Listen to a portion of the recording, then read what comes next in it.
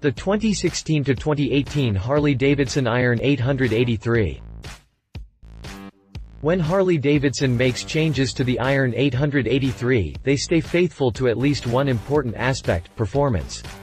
While XL models have never been known as fast bikes, they certainly have a well-deserved reputation as quick bikes. Nothing in the Harley world comes out of the hole like a sporty, or handles the corners like one, and the Iron 883 maintains that tradition with aplomb. Bikes like this show how the XL line has not only survived, but also thrived in the entry-level and sport-minded American markets. Harley-Davidson Iron 883 design.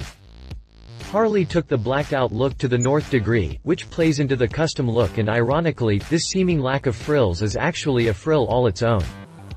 When the folks at Harley-Davidson introduced the K model, direct ancestor of the XL, or Sportster line, back in 1952, I doubt they could have known they were birthing a genre that would still be thriving over half a century later. Yet, here we are with the 2019 Sportster Iron 883 that pays tribute not so much to the factory, but to the custom touches added by owners over the ages. Overall, the Iron 883 has a drag-centric vibe that is hard to ignore.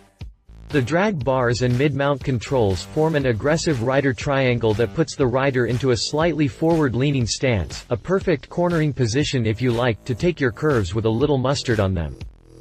Typical of the Sportster family, the lines are rather bunched up to fit within the 85.8-inch total length. The fuel tank emulates the classic look of the sporty peanut tank while squeezing another gallon or so in there for a total of 3.3 gallons. Let's face it, peanut tanks are cool to look at, but they just don't carry enough fuel. The upper lines manage a little flow down the tank and across the rolled leather that sort of pimps out the otherwise mundane stock Sportster seat, which is more comfortable than the smooth sporty seat. The chopped rear fender adds to the dragster vibe while leaving a good view of the rear tire. Turn signals, front and rear, use LEDs to keep the units as small and unobtrusive as possible.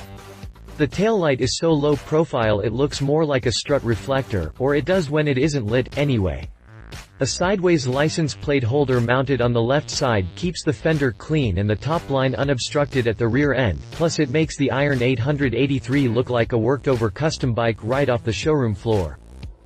Harley took the blacked-out look to the north degree. Even the shock springs and turn signal housings got the treatment, leaving only the... To read the full article, check the link in the description.